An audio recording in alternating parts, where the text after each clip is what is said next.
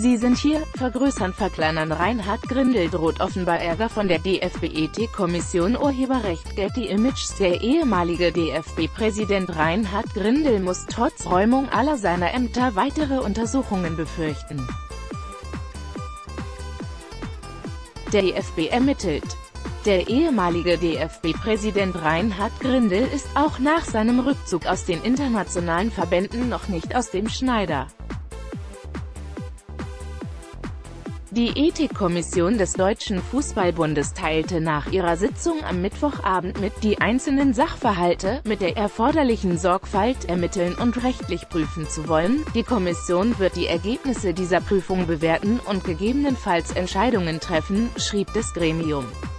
Grindel tritt von allen Ämtern zurück. Grindel hatte am Mittwochnachmittag seinen Rücktritt von seinen Posten beim Weltverband FIFA und der Europäischen Fußballunion UEFA erklärt.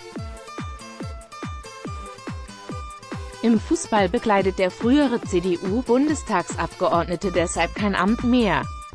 Als DFB-Präsident war der 57-Jährige bereits in der vergangenen Woche zurückgetreten. Als Grund hatte Grindel die blauäugige Annahme einer Luxusuhr von einem ukrainischen Funktionär angegeben. Die Gründe für den Rücktritt sind der Kommission bisher nur aus den zahlreichen Presseberichten bekannt, teilte die Ethikkommission mit, die bei der entsprechenden Kammer des DFB-Sportgerichts Anträge für Sanktionen stellen kann.